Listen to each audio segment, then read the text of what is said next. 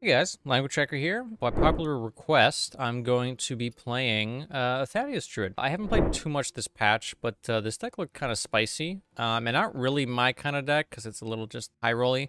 But uh, I believe people kind of uh, fleshed out what a better list should look like, so you can win even if you don't just have the, uh, the the nuts. So let's go through the deck and talk about what this actually is. The main thing you want to be doing is playing Death Blossom Whomper as fast as possible, which draws a Death Rattle minion and gains its Death Rattle. Now, if you go through the deck, you'll notice that the only Death Rattle minions we're running are the Flesh Behemoths, which means that the Whomper will draw it from your deck and gain its Death Rattle. So that when the Whomper dies, the Death Rattle will proc, and you will draw some good stuff from your deck, which is either Mishmash Mosher or Thaddius. And that seems like a lot of pretty good tempo to me. Uh, if you pull Thaddius, excellent, cool. We get to do really fun stuff because then everything's cheap and free and then blah, blah, blah. And if you get the Mosher, then you just clean the board and play for tempo. Jailer's in here as well because it gives you an Ultra Wit condition. Uh, I mean, Thaddius is nice and all, but if Thaddius gets removed, you still want some sort of follow-up. This does run Jailer. Uh, you still have like your Attorney at Mishmash Mosher for board clears. You want to be ramping when you can. And in terms of tech cards, ETC. Rivendare helps against control decks that can actually remove your big boards. You play Rivendare, get the Horseman from your deck, play him, and then you, you win the game. And Ozumat is also nice for board control. It's slow because it's 8 mana, but with Hedge Maze, which we can also use to trigger any other Death Rattles in the deck, like this on turn 5, this procking Ozumat will clear board immediately. This procking Rivendare will shuffle three extra things into your deck, so even if the one on the board gets silenced, you will still have three more. Yeah, use Hedge Maze appropriately. Otherwise, mulligan for ramp. And if you can, uh, Death Blossom Whomper. That's the deck. Here's some cool games. Don't forget to like, comment, and subscribe.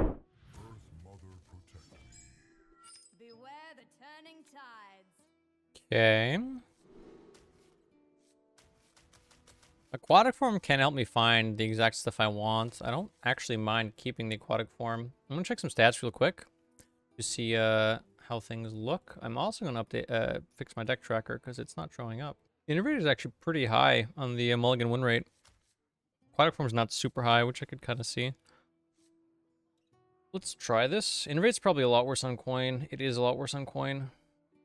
I'm tempted not to keep the innervate. That, that is not going to happen. Let's try this. Full mulligan.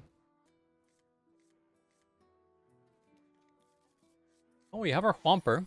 We're against another Druid. Who I believe is playing the same deck. Kind of spicy too. Ooh, Nourish. Okay. Now we just need another ramp card. Powerful. Look, we're both playing Hero Power Druid. I could ship the aquatic from here, but there's nothing that can ramp with, that I can ramp with on turn two, so I'm just gonna hear power pass. I have two things I can do next turn. I can just aquatic form to try and get exactly wild growth or hedge maze, which would actually be very powerful.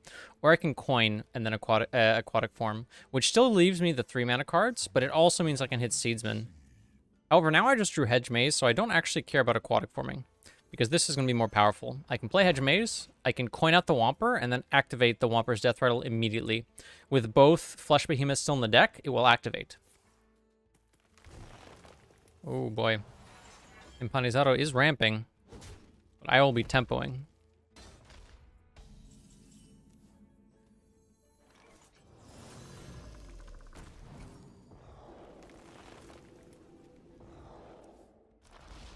Unlucky. We didn't get the Jailer. However, we still have two undead things left in the deck, so even when this dies, we could still get a Thaddius. And come on, let's be real. Look at this. Look at this tempo.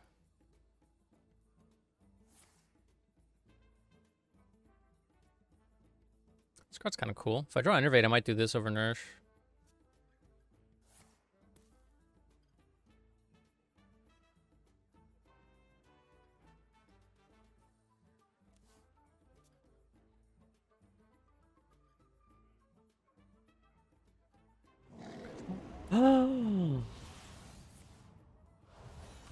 Did you just see what they did? They they took our thing. Uh, do I even care to aquatic growth here? Better question is, am I even playing wild growth? Am I just shipping an ETC for tempo? Because that's kind of spicy. I don't even have to play the aquatic growth. I can just play wild growth for this.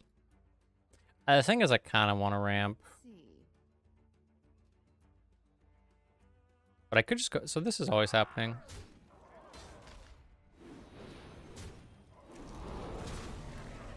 I think I just want to ramp. I could try to find Seedsman, which is a bit better. Innervate actually lets me go Innervate Nourish, which is a bit more powerful than the than the uh, than the Wild Growth, because I need to ramp a bit faster than that.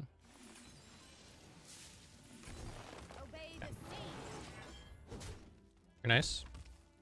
Now it's it's important to note that in the mirror, your opponent can go Mishmash Mosher and Attorney at Maw and full clear board. Ugh. So, it doesn't matter how big my board is, it could just get cleared by a two-card combo. So I need to focus not just on the initial tempo, which is still good to have, because if they don't have that, they will start losing. But if they do have that, I need to have a long-term game plan, which does mean I need mana. Alive, it's fine. Hedge Maze to get some armor. I'm happy to see that, because it means he's uh, given up some power here for, for health. It means if he draws a Death Rattle, it doesn't go off immediately. Oh, this was such a bad draw can just play my own Kolak.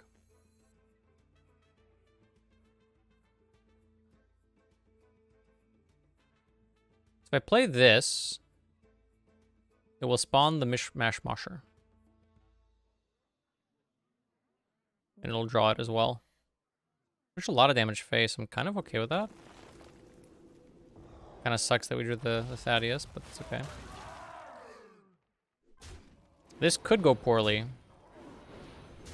Yeah. Did not go poorly. Oh! I kind of thought it might work like that. I was, I was really hoping it wouldn't, though. That's okay. Stealing a mana from them at this point, it doesn't really help me too much. So I think I'd rather just play uh, my own tempo card.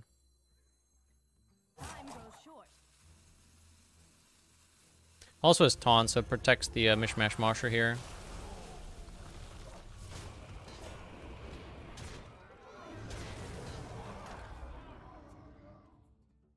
I could have prevented that from happening if I wanted to, but then I would get less face damage. And I think the face damage is actually relevant, because at any point they could just clear my board. Oh, wow. 12 plus 7 is 19. I think I'm supposed to get a corner here and freeze that.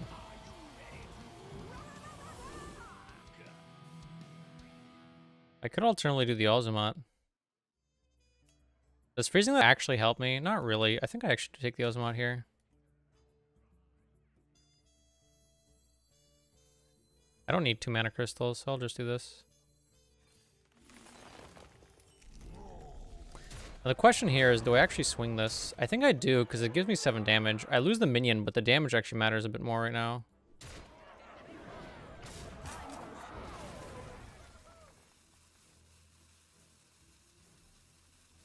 The reason I wanted the Ozumat here is because if he clears my board, now he clears the board just with a Mishmash Mosher.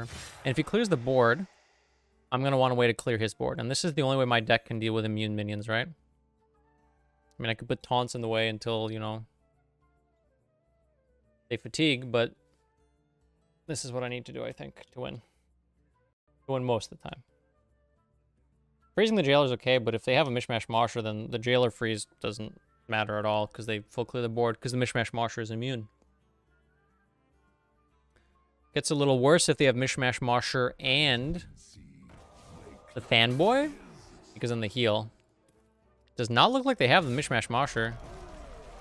Means I think they just died.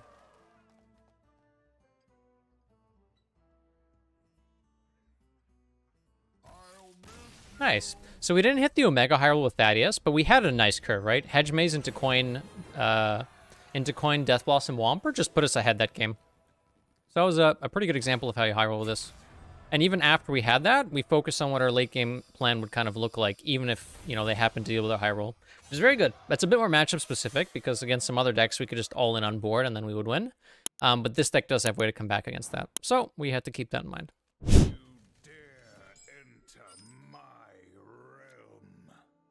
I want to keep Hedge Maze and Seedsman.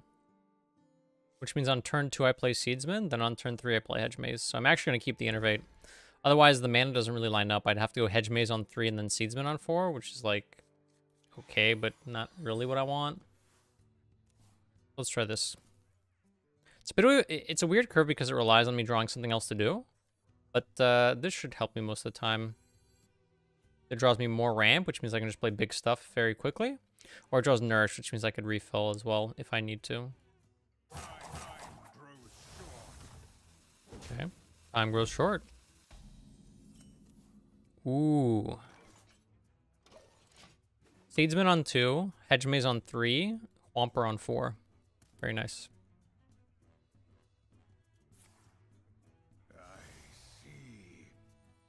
Do you see?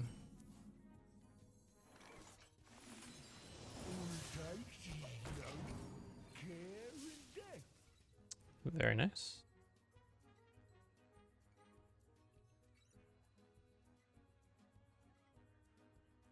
I haven't spent a lot of time on this board, actually. Cool. Well, I really hope I don't draw the... I could pre-bump here, but they're just going to hit back into it, so I don't think I do. If I'm procking the Whomper, I'm likely to get a Mishmash Mosher. And that'll just clear the board and I can go face with my Seedsman. Or it'll pull Jailer. That's right, not Jailer, Thaddius. Anyways, the reason this is a scary draw is because now if I draw the other Behemoth, my Whomper doesn't do anything because I don't have any other Death Rattles in the deck. Um, I can still just ramp up and play big stuff, but it's it's definitely a weaker game plan than immediately having very big things on the board. We're hoping not to draw. Looks like it's big. Okay. Um, nice. We didn't draw the thing. So let's do this.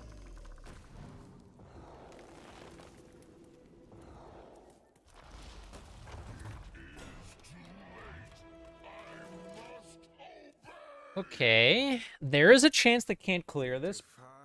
It defies reason. There's a chance they can't clear this, but uh, 6 damage is apparently impossible to do, and thus we win the game. Very nice. Cool. Let me know what other kind of decks you guys want to see, and uh, I'll do my best to give you a five-minute uh, thingy on it. App climbing.